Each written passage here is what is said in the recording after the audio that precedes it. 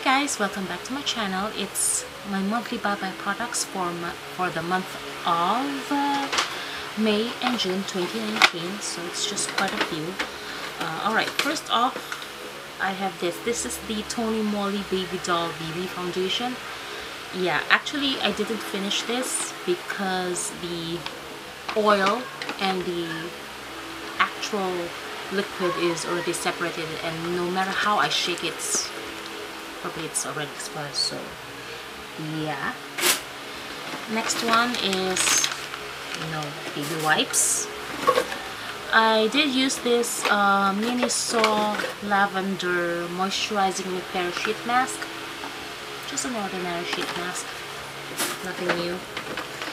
Then I have this I've already used up my shampoo. Um, another small wet, wet wipes. Um, also I finish off this this is Aluja Propolis serum. Um, actually I've already used two two uh, bottle drops of this and didn't do well on my skin.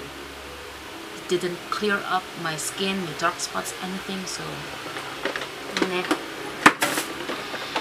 I've already used up this clone bottle. Um, this is the Body Shop lip butter and I think it's there from their uh, chocolate collection.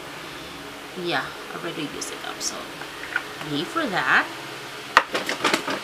And of course this is actually from Coastal Scents eyelash uh, definer C221 and if you could just see the, the thong there's already a gap so might as well throw it away.